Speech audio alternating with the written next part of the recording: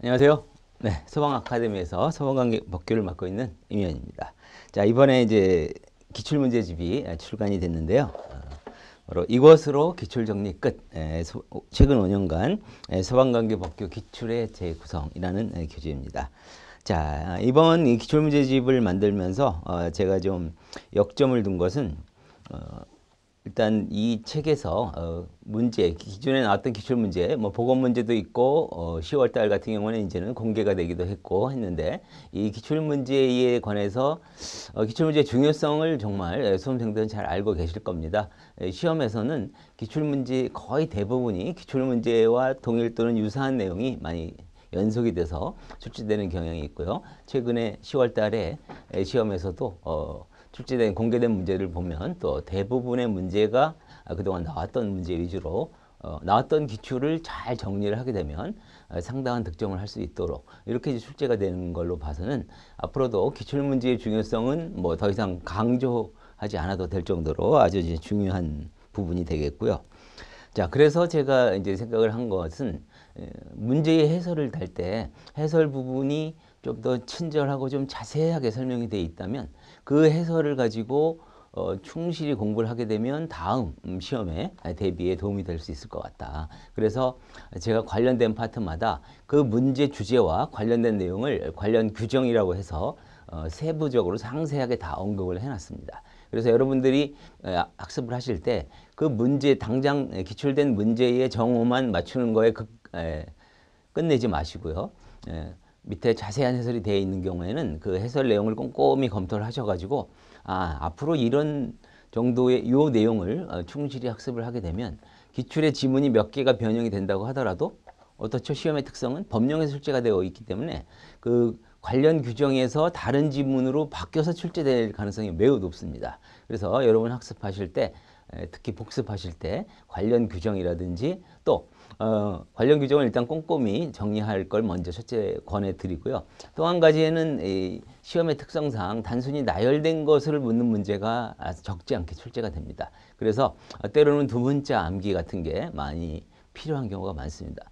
그래서 제가 해설을 달면서 아, 요러요러한 거는 요런 암기사항을 활용을 하면 상당히 도움이 되겠다 싶은 거는 두 문자 암기사항을 쭉 자세하게 나열을 해 놨습니다.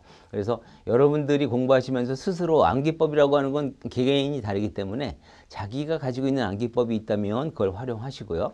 딱히 준비된 암기법이 없고 어떻게 외워야 될지 고민스럽다라고 하신다면 제가 제시한 이런 암기법 같은 것도 잘 활용을 하시면 실전에 큰 도움이 될 수 있을 것으로 생각이 됩니다. 자, 그래서 그런 부분을 어, 좀 많이 잘 활용하시기를 첫 번째로 권해드리면서 어, 강의를 시작하도록 하겠습니다. 자, 먼저 이야기할 수 있는 것은 공채 시험 같은 경우에는 네 가지 법에서 출제가 되는데 그 네 가지 법에서 출제 비중이 공통적으로 25%씩 나온다고 볼 수가 있겠죠. 그래서 한 다섯 문제 내외 정도가 소방기본법부터 소방시설법, 공사업법, 위험물안전관리법까지 전체적으로 다섯 문제 내외입니다. 평균 다섯 문제고 적으면 네 문제, 많으면 여섯 문제 이 정도 비중이 나오기 때문에 여러분들이 어떤 법 하나도 어, 소홀히 해서는 안 되겠다. 그, 그 대신 법령의 시행령, 시행규칙까지 세세한 규정 어, 너무 많기 때문에 그런 모든 걸 다 완벽하게 정리하고 암기한다는 건 현실적으로 불가능합니다. 따라서 이 기출이 그래서 더 중요한 거예요. 기출이라고 하는 것은 중요했기 때문에 많이 출제가 됐고 또 앞으로 중요하기 때문에 출제될 가능성이 높다라는 에, 말하자면 기준이 된다고 볼 수가 있어요.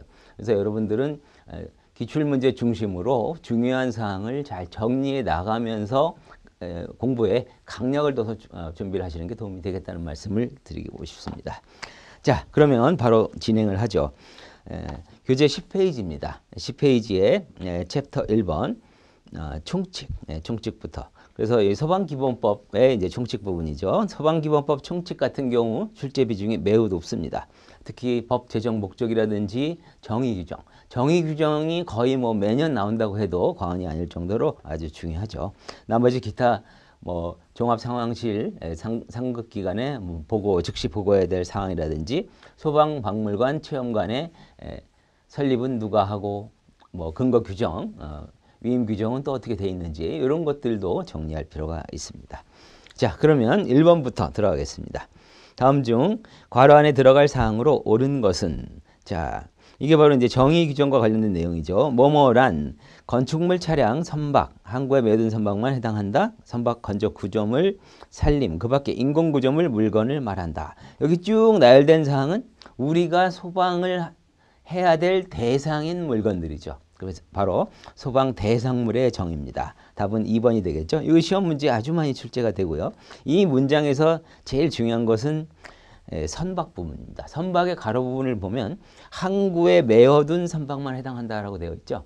그래서 항해 중인 선박 이런 경우에는 현실적으로 소방이 불가능하기 때문에 소방 대상물에서 배제가 되고요. 항구에 메어둔 선박에 한해서만 선박은 에, 소방 대상물이 될 수 있다. 자, 나머지는 뭐 건축물이든 차량이든 각종 물건들이 다 포함이 됩니다. 그래서 소방할 수 있는 부분은 다 정의 내, 내용에 소방 대상물에 포함이 되지만 선박에 한해서는 항구에 메어든 선박에만 해당한다라는 게 아주 중요한 항목이 되겠습니다. 자, 그래서 답은 2번이 되겠고요. 어, 여기 암기상을 한번 보실까요? 맨 밑에 제가 암기상 적어봤는데 바로 이런 식으로 어, 이걸 뭐 굳이 암기까지 필요 없다라고 생각하시면 어, 중요한 항목, 성, 항구에 메어둔 선박 이런 키워 중요한 사항만 점검을 하셔도 사실은 문제 맞추는데 크게 어려움은 없지만 정확하게 내가 다 파악을 하고 싶다. 그러면 밑에 있는 것처럼 건축물, 차량, 선박 등등등 해서 건차선, 구산, 인물 이런 식으로 이제 암기를 활용하셔도 도움이 될 것 같습니다.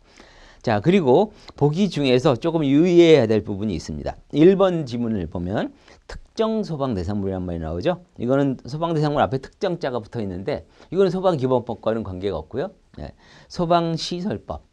네, 소방 시설법에서 소방 시설을 설치해야 하는 대상물 이것을 특정 소방 대상물입니다. 그래서 여기 나와 있는 소방 대상물의 정의와는 관계가 없다. 이게 이제 가끔 섞어가지고 나와서 둘 다 용어가 비슷하기 때문에 헷갈릴 수가 있으니까 명확히 구분을 해보십시오. 그래서 소방 대상물은 소방을 해야 될 대상인 물건에 대해서 소방기본법에서 규율을 하고 있는 것이고 특정 소방 대상물은 소방시설법에서 소방시설을 설치해야 되는 것들을 어, 대상으로 하는 걸 지칭하는 표현이다. 이 부분 유의하시기 바랍니다. 자, 그러면 또 2번 문제로 가보죠. 이제는 조금 전에 보신 문제를 기준으로 쉽게 답을 맞힐 수 있을 거예요. 2번. 다음 중 소방 대상물에 해당하지 않는 것은 1. 지방자치단체의 청사. 이건 아까 건차선 구산인물 이 뭐 내용에 적혀 있진 않죠. 하지만 어디에 포함을 할 수 있을까요? 지방자치단체의 청사다? 뭐 서울시청이니 이런 걸 생각해 보시면 되겠죠. 그러면 이건 건축물에 해당이 되겠죠. 그러니까 소방 대상물에 해당이 되고 그 다음에 2번의 선박 구조물은 어, 용어의 정의에 들어있고 3번이 답이 되겠죠. 이제 쉽게 캐치가 될 겁니다. 바다에 항해 중인 선박은 대상이 될 수가 없죠. 항구에 메어둔 선박에 한한다라는 규정이 있기 때문에 그래서 그게 중요한 포인트가 되고 시험에도 여러 차례 출제가 됐고요. 3이 답입니다. 4번의 건축물과 인공구조물은 아, 용어 정의에 나열된 사항이니까 옳은 지문입니다. 자, 다음 3번으로 갑니다. 소방기본법상 용어에 대한 설명으로 가장 옳은 것은 1번 관계인이란 소방대상물의 소유자, 관리자, 점유자 이게 정확히 맞는 표현이죠. 네, 그래서 소방대상물에 관해서 뭐 일정한 관리를 해야 되고 어떤 의무를 부담하는 자들을 묶어서 관계인이라고 하는데 요거는 소관점이라고 할 수 있겠죠. 소유자, 관리자, 점유자. 소유자는 물, 물건 자체에 대해서 소유권을 가진 자가 소유자고 관리자 같은 경우에는 관리권을 위탁받은 자. 예를 들면 아파트 단지다 그러면 주택관리사무소가 있죠. 관리사무소의 소장 같은 경우에는 관리자라고 분류를 해볼 수가 있겠고 점유자라고 한다는 것은 소유권은 없지만 사실상 그 물건을 지배하는 자를 법적으로 점유자라고 합니다. 예를 들면 차량을 렌트했다. 그러면 렌트카의 소유주는 렌트카 업체가 되겠죠. 그런데 지금 당장 렌트해가지고 제가 어딘가에 가고 있어요. 차를 타고. 그러면 나는 소유권은 없지만 이 차량을 사실상 지배하는 점유자에 해당이 되죠. 이런 경우에 바로 점유자로 분류할 수 있습니다. 아니면 주택 같은 경우를 생각을 해보면 소유자가 있고 임대인과 임차인 관계. 내가 새 들어 산다 그러면 임차인이죠. 임차인 같은 경우에는 소유권은 없지만 점유를 하고 있는 상황이죠. 그 물건을 사실상 지배하고 있는 관계. 그래서 이런 경우에는 점유자에 해당이 됩니다.